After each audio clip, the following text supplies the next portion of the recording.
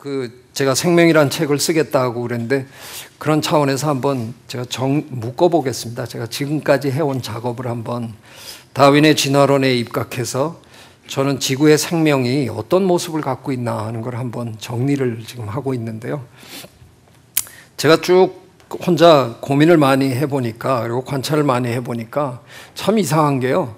생명의 가장 큰 특징, 가장 보편적인 특징은 죽음입니다.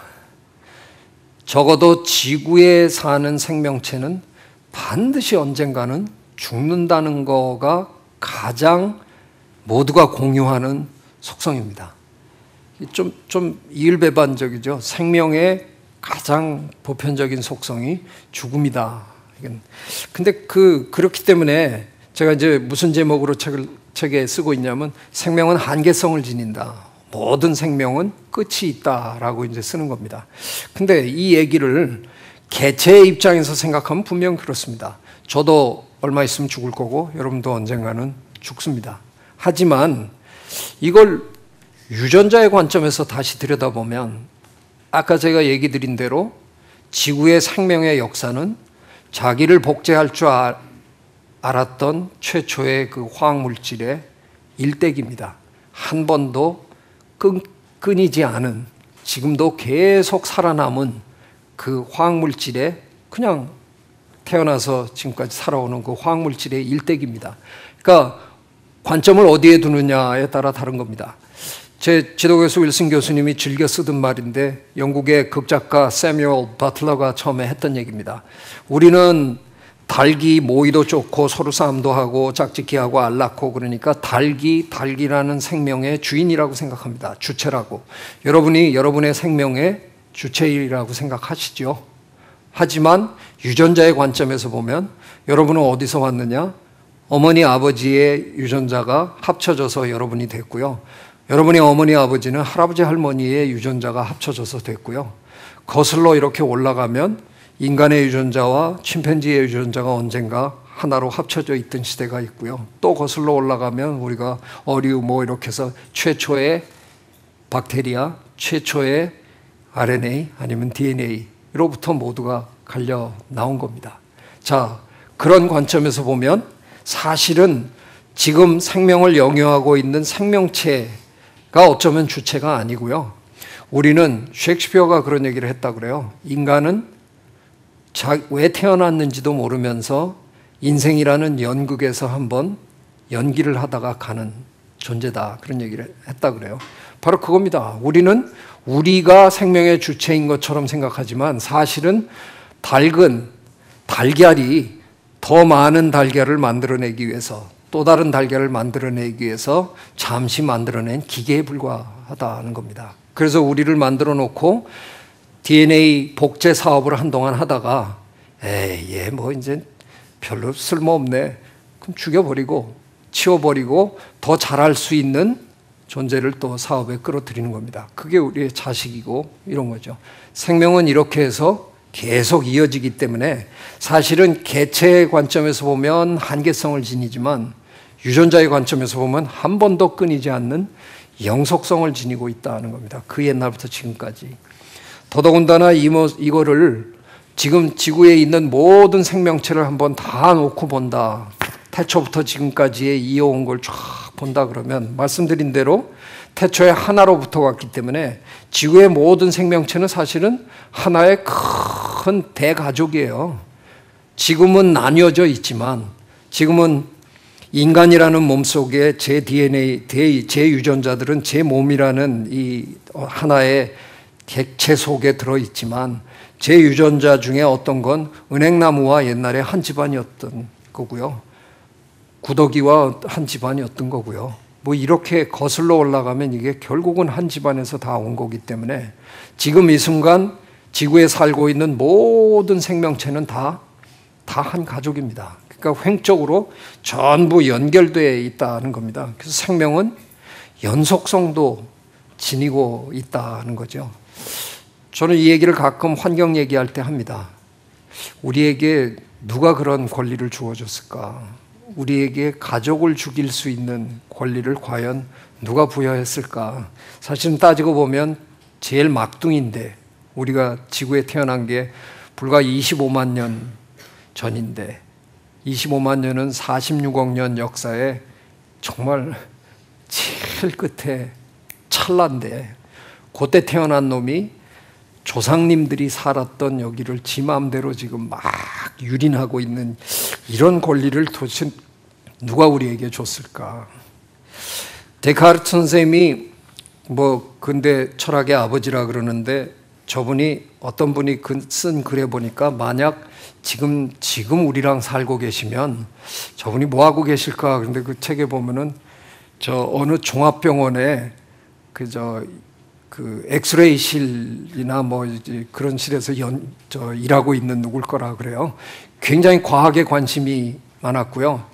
그 해부 해부학이나 뭐 이런 데도 관심이 굉장히 많았고 그래서 거의 과학자 수준이었는데 저 양반이 그 당시 해부학 초기 시절에 인간의 뇌에서 송과체라는 게 처음 발견됐었거든요. pineal gland라고 pineal body라고 부르는 이렇게다가 딱 꺾인 요 부분인데요. 저게 처음 발견되니까 저분이 조금 잽쌌던 것 같아요. 아, 저게 그때 인간의 뇌에만 있다고 이제 생각을 하시고 저기에 인간의 영혼이 앉아 있다는 논리를 펴신 거예요. 송과체에 인간의 영혼이 앉아 있다. 그런데 그 송과체는 인간의 뇌에만 있고 다른 동물의 뇌에는 없다. 고로 인간만이 생각할 수 있는 존재다. 이렇게 그, 그분의 특유의 3단 논법으로. 근데 저분이 돌아가시기 전에 저 송가채가 도마뱀 뭐 이런 온갖 동물에서 다 발견이 됐거든요. 근데 한마디도 안 하고 돌아가셨어요.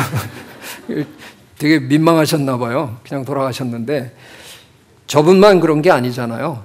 우리 인간 사회에서 끊임없이 우리가 해왔던 건 우리만 독특하다라는 얘기를 계속 하고 싶어 했던 거죠. 그래서 그거를 제일 체계적으로 설명했던 것 때문에 뭐 저한테 이렇게 괜히 저 놀림감이 되신 것 뿐인 거고요.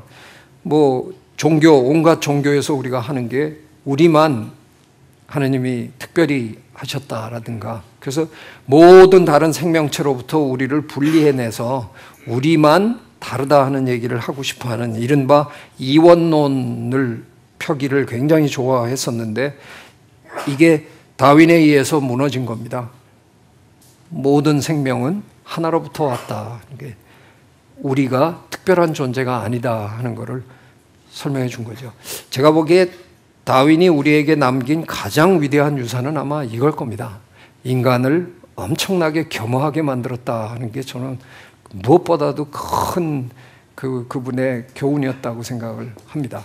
우리도 이 거대한 생명의 그, 그 그물 속에 그저 하나일 뿐이지 우리를 탄생시키기 위해서 그 많은 생명체들이 존재해 줬던 거는 아니다 하는 것을 최초로 설명한 분이고 지금은 뭐 많은 분들이 그런 것들을 이해하잖아요. 뭐 믿음으로 저 거부하실 수는 있지만 이제 이해하는 겁니다. 아까는 제가 스티븐 제이 골드를 조금 이렇게 폄하했는데 개인적으로 제가 하버드에서 공부할 때 저분을 가까이서 좀 뵀었기 때문에 좀 개인적으로 별로 좋아 안 합니다. 솔직하게 조금 너무 너무 그냥 너무 자기만 잘난 양반 이래 가지고요. 아, 정말 같이 있으면 전혀 유쾌하지가 못해 가지고 아주 그 기분이 별로 좋지 않은 분이었는데 어, 암 때문에 이제 돌아가셨는데 뭐 그 그런 거 개인적인 걸 떠나서 뭐 위대한 학자시잖아요. 이분이 쓴책 중에 Wonderful Life라는 책이 있는데 우리말로 생명 그 경이로움에 대하여 이렇게 번역되어 있습니다. 아, 우리 우리말 제목이 더 멋있는데 저 책에서 저 그 온갖 그 캠브리아기의 화석들을 쫙 분석하면서 장관이 책의 끝에 가서 참 재밌는 질문을 해요. 지구의 역사를 다큐멘터리로 영화로 만들어 놨다가 마음에 안 들어서 다시 찍는다 그러면 마지막 장면에 인간이 등장할 확률이 무엇일까라고 묻고는 답합니다. 0이다. 인간이 등장할 확률은 0이라는 겁니다. 무슨 얘기냐 하면 인간이 오늘날 지구에 등장한 건 우연의 우연의 우연의 우연이 겹쳐서 우리가 이런 경우에 확률 계산하면 전부 곱해야 되잖아요. 전부 곱하다 보면 거의 0에 수렴한다는 겁니다. 인간은 정말 어쩌다가 탄생한 존재지 인간이 탄생하기 위해서 이 모든 것들이 존재한 건 절대로 아니었다는 겁니다. 생명은 우연한 겁니다. 필연적으로 무슨 일이 벌어졌던 게 아니라 제가 보기에는 지구의 생명의 현상이라는 건 그냥 우연히 벌어진 일들의 그 집합이라고 볼까 그런 겁니다. 이 역시 우리를 굉장히 겸허하게 만드는 그런 일 중에 하나라고 생각합니다. 그 제가 지금 요 시간이 얼마나 됐는지 모르고 계속 떠들고 있는데 한 5분 남았습니까? 그 생물학자들은 좀 쓸데없는 내기를 잘합니다. 그 자연과학 하시는 다른 분야의 분들은 내기를 해도 그 결론이 나는 내기를 하시던데 이 생물학자들은 결론이 안 나는 내기를 가끔 해요. 그 유명한 얘기 중에 지금 지금 벌어지고 있는 가장 큰 내기가 뭐냐면 2050년 전에 150세를 사는 사람이 나타난다라고 누가 떠들었는데 절대 그런 일 없다 그래갖고 이 두 학자가 지금 적금을 함께 붓고 있는 게 있는데요. 지금은 푼돈을 냅니다. 그런데 2050년 근처까지 미국의 이자율을 계산하면 조 단위의 돈이 우리 돈으로 1조 원이 넘는 돈이 만들어집니다. 그래갖고 그거를 2050년 전에 150세 산 사람이 나타나면 그렇다고 얘기한 사람이 다 먹는 거고요. 안 나타나면 안 된다고 얘기한 사람이 먹는 겁니다. 이게 얼마나 웃기는 저 내기냐 하면요. 그 두 사람 지금 60대 후반이에요. 지네가 그때까지 견디지도 못해요. 근데 내기를 했어요. 그래서 어떻게 하냐 하면 그 가족이 그냥 뭐니 돌아가시고 난 다음에도 그 가족이 계속 부어주기로 하고 마지막에 결판이 나면 그가 그들이 몸담았던 마지막 대학 아니면 연구소에 그 돈을 기증하기로 하고 지금 내기를 합니다. 저도 동참했고요. 온갖 생물학자들이 지금 다 동참했습니다. 근데 저희들은 돈은 안 내고요. 그냥 이걸로 다 동참했는데 그런 짓을 안 하나 또 이 내기가 지금 진행되고 있습니다.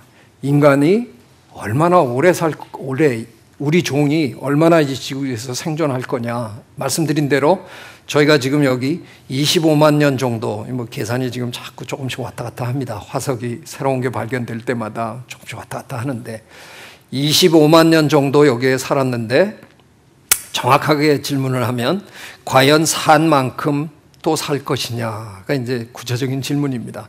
25만 년을 우리가 더 버틸 것이냐. 그 답을 저 볼 사람은 진짜로 아무도 없습니다. 이게 뭐하러 이런 얘기를 하나 싶은데 합니다. 저는 25만 년 못 산다에 지금 걸었습니다. 제가 보기에 우리 인간은 갈 길을 재촉하는 어리석은 동물로밖에는 안 보입니다. 자연계에서 가장 가장 탁월한 두뇌를 가장 명석한 두뇌를 지닌 건 객관적으로 우리가 평가하면 나옵니다. 우리 인간의 두뇌만큼 기가 막힌 두뇌는 없습니다. 여러분이 이미 두뇌에 관해서 강연을 들으, 들으셨을 텐데 절대로 그거는 뭐 어느 누구도 우리에게 저 뭐 도전할 수 있는 수준이 아닙니다. 우리가 완벽하게 가장 훌륭한 두뇌를 지녔습니다. 그런데 우리가 그 두뇌를 가지고 지금 하고 있는 짓을 보면 저는 완전히 헛똑똑한 동물, 자기 꾀에 넘어가는 동물이라고 밖에는 도저히 뭐 더 이상 할 말이 없습니다. 그 진짜로 우리가 그러니까 우리 호모 속에 속의 진화를 보면 뭐 뭘 만들어서 썼다 그래서 호모 하빌리스가 있었고요. 두 발로 제대로 이제 일어섰다 그래서 호모 에렉투스가 있었고 뭐 호모 속에 여러 종들이 있었습니다. 그러다가 그리 머지않은 옛날에 유럽 쪽에서는 네안데르탈인이랑 우리랑 같이 살았거든요. 제가 공상과학 소설을 혼자 시간 날 때 한 7, 8년 전에 조금 쓰다가 그냥 스탑하고 말았는데 전 할리우드에 팔아보려고 쓰기 시작했는데 그거의 내용이 뭐였냐면 네안데르탈인하고 우리 호모사피엔스하고 자식을 낳았을 것이다 라는 이제 전제하에 쓴 거거든요. 그래서 배우까지 제가 정해놨었는데 덴젤 워싱턴이 주연인데 이제 그 어느 날 자꾸 누군가가 자꾸 사라지는 뭐 이런 거에 그냥 많이 생물학자인데 이게 뭘까 하고 들여다보다가 조직적으로 네안데르탈인의 유전자를 갖고 있는 사람들을 계속 이제 그 숙청해 나가는 이런 모함이 벌어지는 걸 이제 그냥 많이 발견하고 그 유전자를 갖고 있는 사람들끼리 이제 서로 뭉치고 뭐 이런 얘기였거든요. 헐리우드 영화로 아주 그럴듯하잖아요. 그래서 열심히 쓰고 있는데 밝혀졌어요. 과학적으로 저 네안데르탈인과 호모사피엔스가 피를 섞었습니다. 그래서 실제로 우리가 자식을 같이 낳았어요. 그래서 우리들 중에 누군가는 네안데르탈인의 유전자를 실제로 갖고 있습니다. 이게 사실로 밝혀지고 나니까 이건 이제 더 이상 공상과학 소설이 안 되는 겁니다. 그래서 정말 억울하게 제가 아, 한 몇 년만 빨리 썼어도 일단 제가 할리우드에서 그 각 그 돈을 받고 뭐 그 다음에 어떻게 된 거야 저야 상관없는 건데 억울했는데 그런 인간이 끝내 제일 마지막에 호모 사피엔스라는 종이 태어나고 호모 속에 있던 그 모든 종들은 다 사라졌습니다. 저희가 생물학자들이 자연계의 저 생물종을 연구하면 그 생물종에다 이름을 붙입니다. 이른바 이명법이라는 걸 통해서 이름을 붙이는데요. 호모 사피엔스 그러면 호모가 속명이고요. 사피엔스가 종명인데 호모가 마치 성과 같은 거고요. 제 이름이 최재천인데 최씨 집안에 많잖아요. 그 중에 제가 재천인데, 그러니까 호모 속에 사피엔스가 있는 건데 웬만한 다른 속에 가보면 종들이 많습니다. 우리 지파리가 머스카 도메스, 도메스틱한데요. 머스카라는 속 안에 들어가면 수백 종이 있습니다. 근데 호모 속에만 하나만 남았습니다. 이게 무슨 얘기입니까?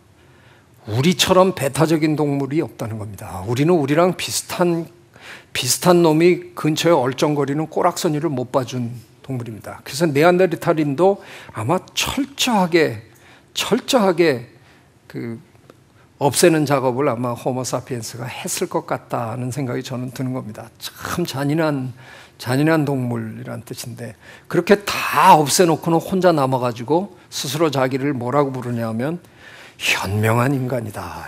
사피엔스가 영어로 wise라는 뜻입니다. 스스로 더 붙일 이름이 없는지 스스로 현명하다라고 하는데 저 과연 우리가 진짜로 현명한지는 저는 저는 못 받아들이겠습니다.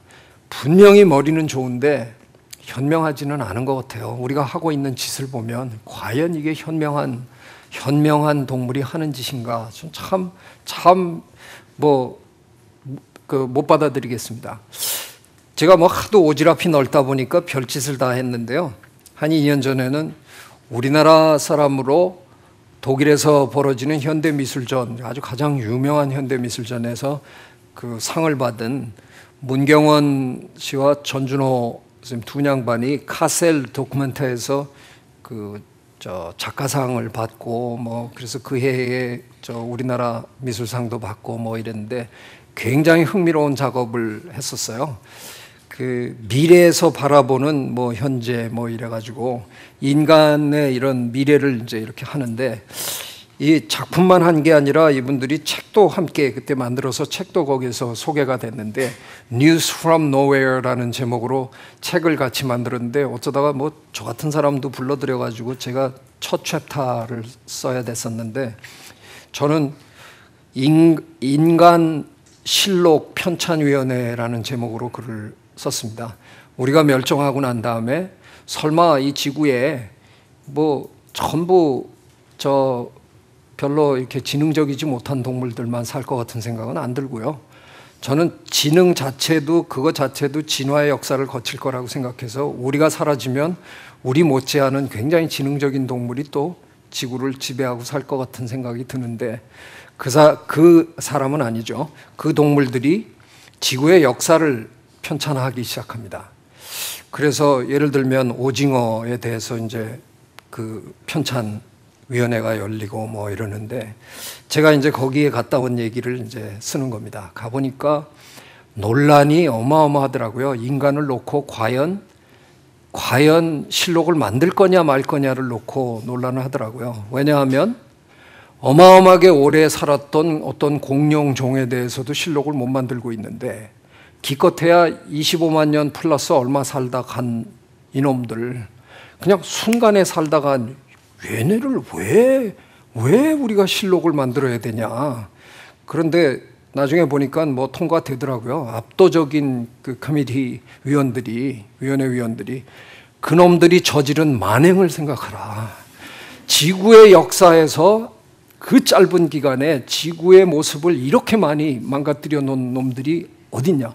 이건 반드시 실록으로 고발해야 된다. 그래서 이제 실록을 만들기로 했어요. 그래서 그 실록 편찬위원회에서 벌어지는 일들을 제가 관람기를 이렇게 쭉 쓰면서 도대체 우리가 무슨 짓을 하고 살았나 그런 거를 이제 좀 반성해 보는 뭐 그런 그런 이제 저 글을 쓴 적이 있는데 저는 우리 인간이 지구에서 그 정말 얼마나 오래 살지에 대해서 그렇게 긍정적으로 생각하는 과학자가 아닙니다. 하지만 쟁구다 박사님이 한국에 오시면 늘 그 하시는 강연에 빠지지 않고 들어가는 제목에 빠지지 않고 들어가는 말이 호프입니다. 희망인데 그 선생님 늘 그런 말씀하세요.